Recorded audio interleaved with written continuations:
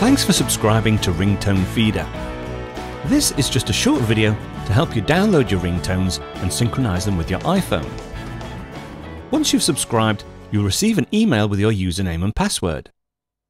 Just click on the link within the email to start downloading your ringtones. iTunes should open and you'll be prompted for your username and password as contained in the email. Just check Remember Password, then click Login.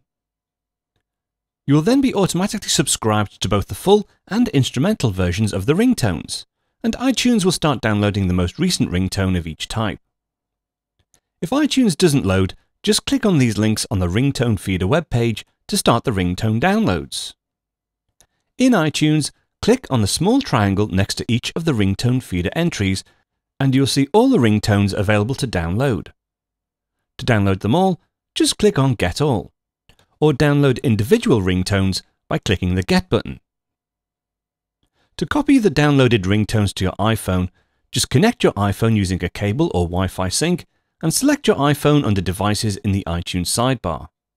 Click on the Ringtones tab, select Sync Ringtones, and choose which ringtones you want to sync to your iPhone.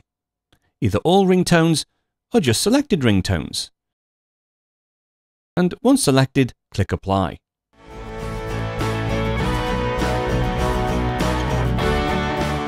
Play your ringtones on the iPhone is simple. To set your default ringtone, just select Settings, Sounds, Ringtone. All your custom ringtones will appear at the top, with the standard ringtones at the bottom.